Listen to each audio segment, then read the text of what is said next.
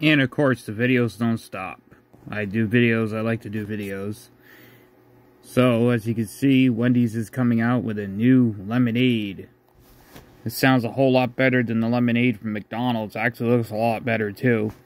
The Blueberry Pomegranate Lemonade is going to be launching. Available nationwide March 28th. So, the same day that the wraps are going to be available. So, of course, I'm going to review this and the wraps. So, I can't wait.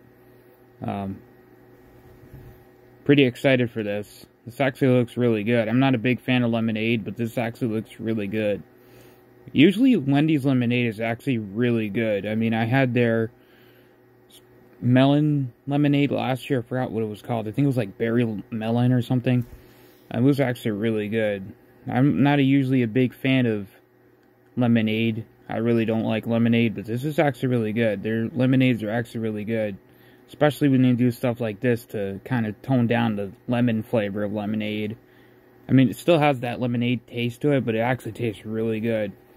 It's kind of like a fruit, uh, like a fruit smoothie kind of to me. Uh, their lemonades are actually really good, so can't wait for this. March 28th is when it's going to be coming out, so same day that the wraps are coming out.